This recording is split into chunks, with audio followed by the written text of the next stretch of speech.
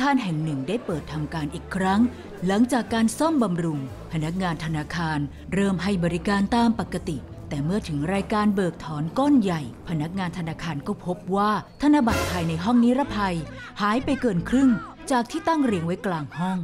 และพบธนบัตรกระจายที่พื้นบางส่วน จากการตรวจสอบสมุดเซ็นชื่อในการเข้าออกห้องจากกล้องวงจรปิด ก็ไม่พบว่ามีใครเข้าออกห้องนิรภัย และโดยรอบก็ยังไม่พบร่องรอยการงัดแงะเสียหาย แล้วเงินหายไปได้ยังไง หายไปไหน หรือนี่จะเป็นเหตุจรกรรมครั้งใหญ่ เมื่อเงินเหมือนถูกเสกให้หายไปได้อย่างไร้ร่องรอย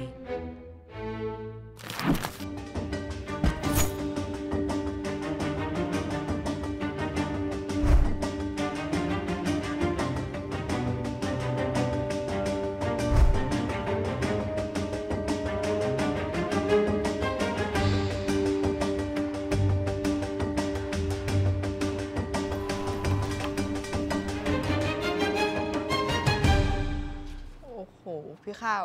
คดีเนี้ยเงินหายไปตั้งเยอะ แถมยังหายจากห้องนิรภัยของธนาคารอีกด้วย คดีนี้เรื่องใหญ่เลยนะครับ ใช่ครับฮีโร่แต่พี่ข้าว่าคดีเนี้ยเป็นการขโมยที่แปลกอยู่เหมือนกันนะครับฮีโร่นี่เราคงเห็นด้วยกับพี่ข้าวนะครับ เนี่ยอุตส่าห์งัดแงะเข้ามา แบบแนบเนียนไม่มีรอยงัดอะไร แต่เข้ามาแล้วไม่ได้เอาเงินไปทั้งหมด อืมเหลือไว้แค่นี้ทำไมก็ไม่รู้ อืมนั่นดิครับ แปลกมากเลยเนาะ แล้วที่แปลกอย่างนี้นะ เขาจะเข้ามาโดยที่ไม่มีคนเห็นได้ไงอะ่ะ ขนาดกล้องวงจรปิดนะ ยังจับไม่ได้เลยว่ามีคนเข้าออกห้องนิรภัยเนี่ยครับเฮ้ยพี่ข้าว แล้วกระดาษที่มันมีตัวเลขยาวๆนี้คืออะไรเหรอครับ มันเกี่ยวกับคดีนี้ยังไง อ๋อ อันเนี้ยครับ มันคือชุดตัวเลขพวกเนี้ยมันเรียกว่า serial number ครับฮีโร่อ๋ออยากรู้ไหมว่า serial number คืออะไร อยากรู้ครับ มานี่เลยครับ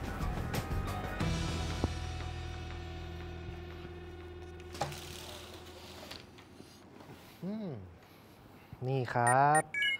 serial number นะครับฮีโร่มันคือชุดตัวเลขหรือว่าตัวอักษรนะครับ ที่ไว้ควบคุมสินค้าครับ อย่างเจ้า serial number ที่อยู่บนธนบัตรหรือว่าแบงค์เนี่ยนะครับ มันก็จะบอกรอบการผลิตจำนวนการผลิต แล้วก็ถือเป็นเลขประจำตัวของแบงค์แต่ละใบเลยนะ นี่ก็แปลว่า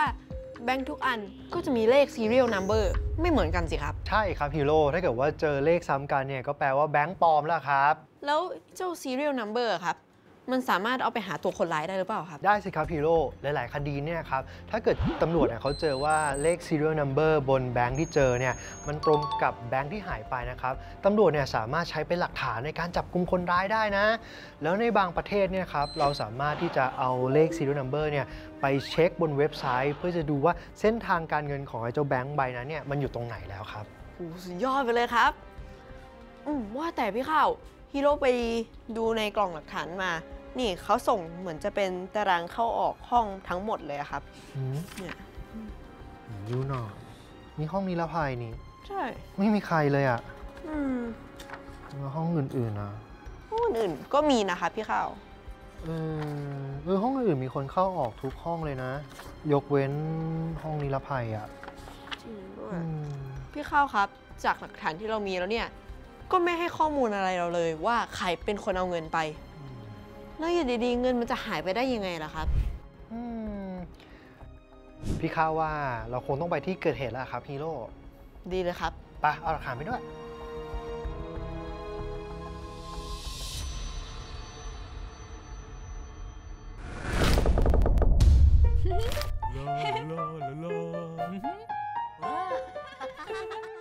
เอ๊ะ น้องผีเสื้อกับเจ้าพวกแมลงทำอะไรกัน แอบดูสักหน่อยดีกว่าหึหนึ่งใบสองใบสามใบ ฮะ ของนายเยอะจัง เป็นปึกเลยหนอน เดี๋ยวลูกค้าเธอก็มา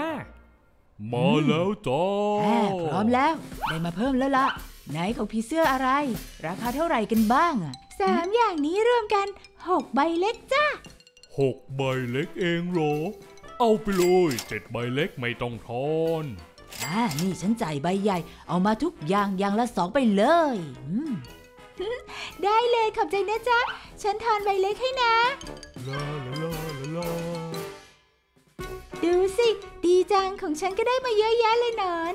เล่นขายของแบบนี้สนุกจังเลยเนาะ เอ๊ะ พวกแมลงใช้ใบไม้มาแลกของกันเหรอเนี่ย น้องผีเสื้อได้ใบไม้เยอะแล้วดูดีใจมีความสุขใช่ไหมอื้อหือ งั้นเราต้องไปหาใบไม้มาให้น้องผีเสื้อบ้างแล้วล่ะ ใครจะเป็นเศรษฐีกับฉันน่ะสิ เศรษฐีหมึกมาแล้วจะน้องผีเสื้อจานได้ยินว่าน้องผีเสื้ออยากได้ เศรษฐีหมึกเลยไปหามาให้ นี่เลยจัดชุดใหญ่มาให้เลยจ้ายอดชวาบนี่จะน้องผีเสื้อเฮ้ยนี่หมึกทำอะไรเนี่ยเลอะเทอะไปหมดแล้วอะอ้าวอ้าวก็ใบไม้ไง ที่น้องผีเสื้ออยากได้ไม่ใช่เหรอที่เอาไว้แลกของได้ไม่ใช่เหรอจ๊ะโอ้ยนั่นเขาเล่นของสมมุติกัน ไม่ได้แลกจริงจังสักกันหน่อยอืมเก็บกวาดให้หมดเลยนะอืมหน้าบ้านเละเทะหมดแล้วเนี่ยอะอ่านั่นนั่นนั่นน้องผีเสื้อโมโหอะไรพี่หมึกเนี่ยพี่หมึกไม่เข้าใจโทโทโทคนไม่ใช่ทำอะไรก็ผิดอืม เอาพวกเราช่วยกันนั่นหมึกทำไมเอากล่องใบไม้แห้งที่เป็นขยะมาทิ้งหน้าบ้านผีเสื้อแบบนั้นล่ะ เราต้องเข้าไปช่วยหมึกไหมอะโมโหขนาดเนี้ย พวกเราอย่าเพิ่งเข้าไปยุ่งเลยดีกว่าอืมเดี๋ยวโดนไปด้วย โอ้ หมดสนุกเลมายเก็บโอ้โหพี่ข้าวห้องนิรภัยดูแน่นหนามากเลยนะครับเนี่ยอืมเหมือนตู้เซฟยักษ์เลย นี่คือที่ที่เขาเก็บเงินสินะครับอืม ไม่ใช่แค่เงินนะครับฮีโร่ห้องนิรภัยของธนาคารเนี่ยเขายังเปิดเช่าให้เก็บของมีค่าอื่นๆอีกนะ ไม่ว่าจะเป็นทองคำแท่ง แหวนทอง เครื่องเพชรนาฬิกา หรือว่าเอกสารสำคัญสำคัญๆเนี่ยก็สามารถมาเก็บไว้ในห้องนิรภัยของธนาคารได้นะครับแล้วฮีโร่รู้เปล่า มันยังมีห้องนิรภัยไว้สำหรับเก็บเมล็ดพันธุ์พืชด้วยนะฮะเมล็ดพันธุ์พืชเนี่ยนะอืมห้องนิรภัยเนี่ยครับมันทั้งใหญ่แล้วมันก็แน่นหนามากเลยนะ เขาคงต้องใช้เงินเยอะมากๆในการทำแล้วใครเขาจะสร้างเพื่อมาเก็บของอะไรแบบนี้ล่ะครับโอ้ยฮีโร่ไม่รู้อะไรแล้ว ทรัพยากรธรรมชาติเนี่ยเป็นสิ่งสำคัญมาก ๆ เลยนะครับและไอ้ห้องนิรภัยที่ว่าเนี่ยเขาออกแบบมาเป็นอุโมงค์เลยนะ อยู่ใต้ดินครับ เอาไว้เก็บพันธุ์พืชแล้วก็เมล็ดพันธุ์โดยเฉพาะเลย เพื่อเป็นแหล่งอาหารสำรองของโลกในวันสิ้นโลกครับหูอุโมงค์เก็บทรัพยากรเหรอครับ ไม่เคยได้ยินมาก่อนเลยฟังดูเจ๋งมากเลยครับอืมอืม แล้วใครเป็นคนเก็บเหรอครับ แล้วก็เก็บไว้ที่ไหนด้วย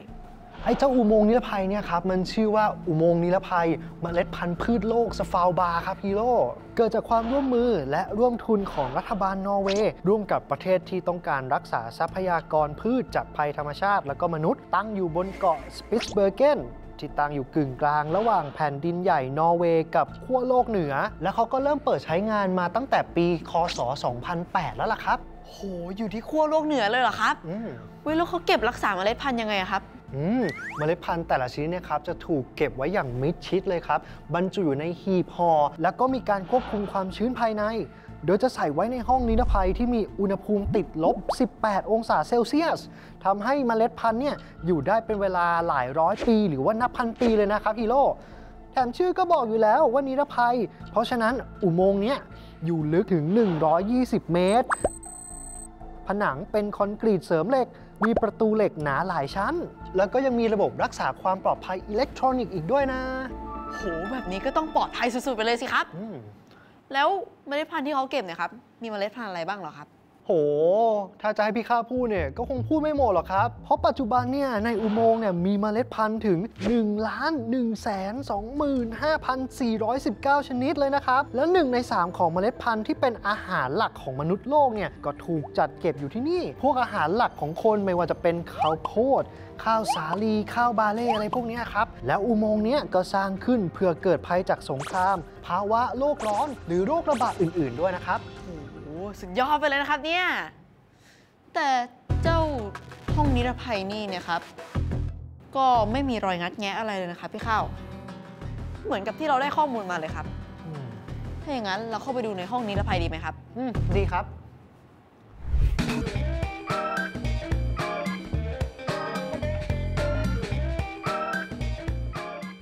พี่ข้าวครับ ในห้องนิรภัยไม่เห็นเจอร่องรอยอะไรเลยอะครับ อืมพี่ข้าวก็ไม่เจออะไรที่มันผิดสังเกตน่าสงสัยเลยอะครับเนี่ยรอบๆนะ ก็มีแค่ห้องเนี้ยที่อยู่ข้างๆ เป็นห้องที่ปิดซ่อมอยู่อืมส่วนอีกฝั่งหนึ่งเนี่ยมันก็เป็นผนังแล้วนะครับอืมไม่มีอะไรเลยอะเปิดดูสิเฮ้ยพี่ข้าวครับ ห้องที่ว่านี่คือห้องที่มีช่างเข้าไปใช่ไหมครับเอ๊ะก็น่าจะใช่นะครับ นี่ไง เลขตรงกันเลย ถ้าอย่างนั้นไหนๆก็ไหนๆแล้ว เราเข้าไปดูกันหน่อยดีไหมครับ อืม ก็ดีนะครับไปโอ้โหพี่ข้าวห้องนี้เนี่ยยังซ่อมไม่เสร็จเลยนะครับ อืมบรรยายยังวางทิ้งไว้อยู่เลยเนี่ยอืมวิพี่ข้าวพี่รู้ว่าแอร์ตัวนี้มันหันแปลกๆนะ เอ๊ะไม่แน่ใจอะต้องขึ้นไปดูก่อนนะ งั้นพี่ข้าวเดี๋ยวเราขึ้นไปดูเอง โอเคครับ อันนั้นเอานี่มาระวังนะอืมพี่ข้าวครับฮีโร่ขึ้นมาแล้วนะอุ๊ยแต่กลิ่นข้างบนนี้เหม็นไหม้มากเลยอะครับอุ้ยแอร์ตัวนี้คงทำงานหนักเกินไปครับพี่ข้าวหืมอุ้ยนั่นอะไรอะ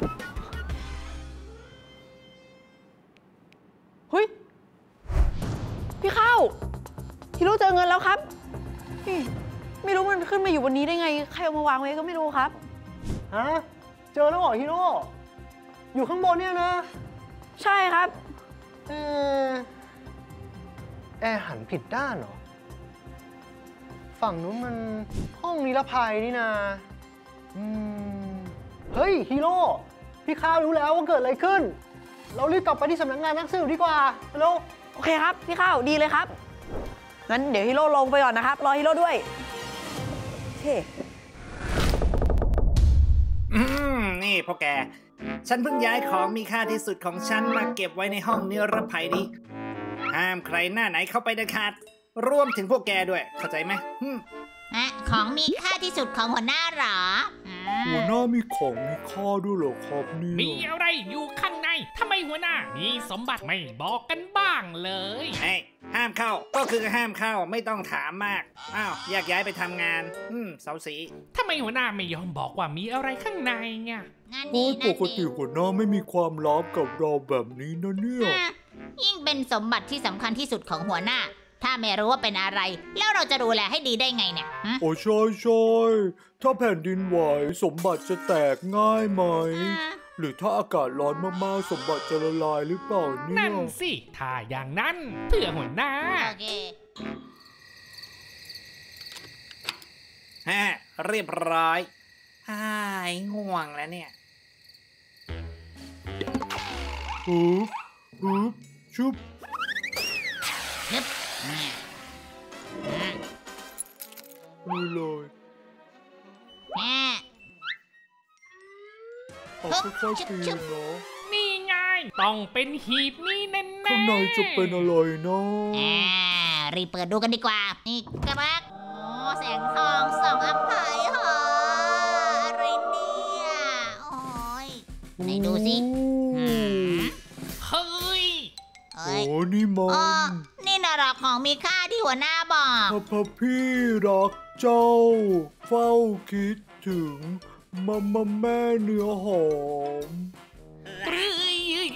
ขนลุกเลย โอ้โอ้ยซึ้งของมีค่าคือจดหมายรักหัวหน้าเนียนนะ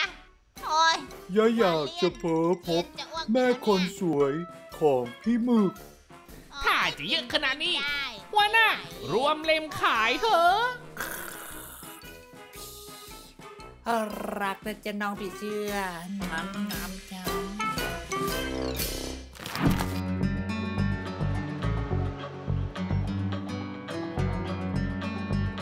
พร้อมไหมพร้อมแล้วครับ เปิดโบรเลยครับ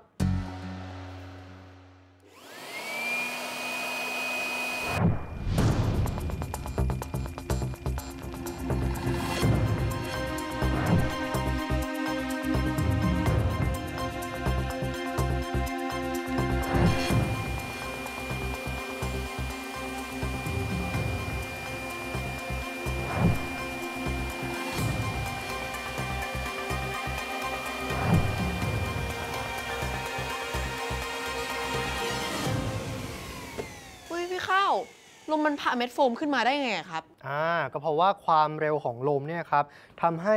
อากาศบริเวณท่อเนี่ยมีความดันต่ำกว่าอากาศบริเวณปลายท่อด้านล่างนี้ครับ อากาศเนี่ยก็เลยไหลจากพื้นที่ที่มีความดันอากาศสูง ไปยังพื้นที่ที่มีความดันอากาศต่ำแล้วก็พาเม็ดโฟมลอยขึ้นมาด้วย อ๋อ หรือพี่ข้าวกำลังบอกว่า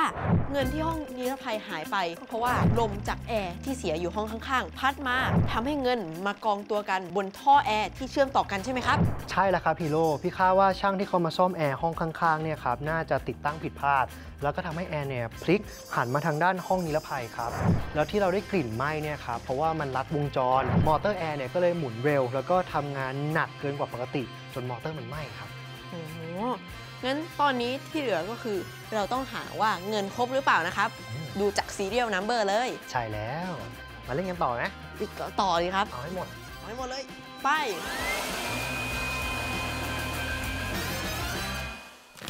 จากที่มีเงินหายไปจากห้องนิรภัยธนาคารแห่งหนึ่ง เหล่านักสืบได้ตรวจสอบหลักฐาน พบว่าห้องนิรภัยไม่มีคนเข้าออก และร่องรอยงัดแงะ จึงเดินทางต่อไปยังที่เกิดเหตุ เพื่อหาหลักฐานเพิ่มเติม ที่ธนาคารนักสืบมุ่งตรงไปยังห้องนิรภัย แต่ก็ยังไม่พบเบาะแสจึงสำรวจพื้นที่โดยรอบก็พบว่าบริเวณรอบด้านห้องนิรภัย มีห้องที่อยู่ติดกันเพียงห้องเดียว ไม่มีพื้นที่ที่เชื่อมต่อกับฝั่งอื่น ๆ ได้ ประกอบกับสมุดเซ็นชื่อจากกล่องหลักฐานว่ามีคนเข้าออกห้องที่ติดกันนี้ในช่วงเวลาเกิดเหตุ จึงเข้าไปสำรวจภายใน ในห้องดังกล่าว นักสืบพบว่าห้องนี้เป็นห้องที่ทำการปิดปรับปรุงอยู่และพบเครื่องปรับอากาศภายในห้องที่มีลักษณะผิดปกติ จึงขึ้นไปสำรวจด้านบน และพบธนบัตรที่หายไปอยู่ในท่อแอร์นำไปสู่การตั้งสมมติฐาน ว่าธนบัตรจำนวนมาก ขึ้นไปอยู่ในท่อแอร์ได้ยังไง ผลการทดลองพบว่าแรงลมที่ปลายท่อ มีผลต่อความดันอากาศทำให้ธนบัตรเคลื่อนที่มารวมกันอยู่ในท่อแอร์ คดีนี้จึงเป็นที่สิ้นสุด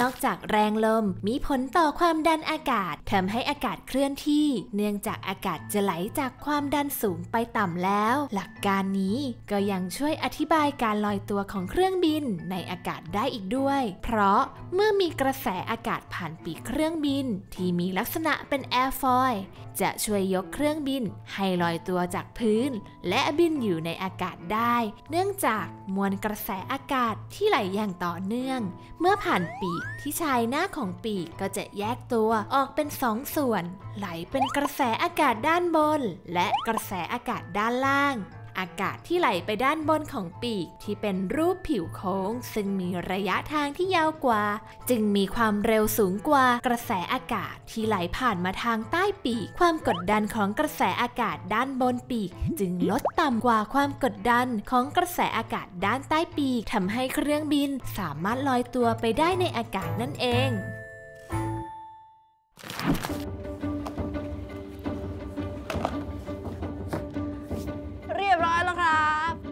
ที่สุดธนาคารก็ได้เงินกลับคืนไปหมดแล้วครับ อืมเนี่ยเป็นเพราะความช่างสังเกตของฮีโร่เลยนะ ไม่งั้นเนี่ยเงินตั้งเยอะแยะที่อยู่บนช่องแอร์ไม่รู้ว่าอีกนานแค่ไหนกว่าควรจะไปเจอนะแหมพี่ข้าวก็ไม่ต้องชมขนาดนั้นก็ได้เฮ้ยแต่พี่ข้าวครับ หลังจากที่ฮีโร่กลับมาจากที่เกิดเหตุแล้วอะครับฮีโร่ไปได้ข้อมูลมาครับอืมว่านอกจากอุโมงค์นิรภัยที่เอาไว้เก็บเมล็ดพืชแล้วเนี่ย ก็ยังมีอีกโครงการหนึ่งครับ ที่เขาเก็บเอกสารแล้วก็ข้อมูลของมนุษยชาติ ชื่อว่า Arctic World Archive ครับ จริงเหรอ แล้วเขาเก็บอะไรอะครับ มีทั้งภาพเขียน มีทั้งวรรณกรรม มีทั้งบันทึกประวัติศาสตร์สำคัญสำคัญโดยจุดประสงค์เขาเหมือนกับอุโมงค์นิรภัยเลยครับ เรียกว่าเป็นสถานที่ปกป้องความทรงจำของโลกเราไปเป็นพันๆปีเลยล่ะครับโหเจ๋งอะโอ้ยเดี๋ยวนี้คู่หูนักสืบของพี่ข้าเนี่ยเก่งใหญ่แล้วนะ